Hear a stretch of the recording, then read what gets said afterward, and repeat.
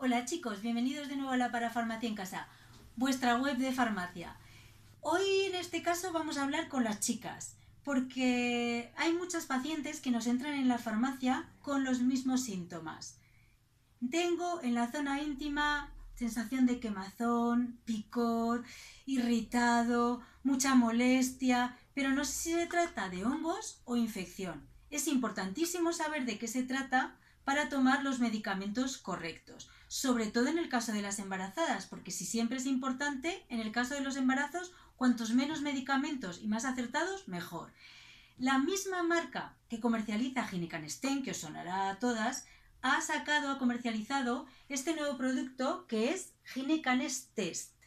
Es un test muy rápido para hacer en unos segundos un diagnóstico y saber si se trata de una candidiasis, unos hongos o una vaginosis, una infección bacteriana.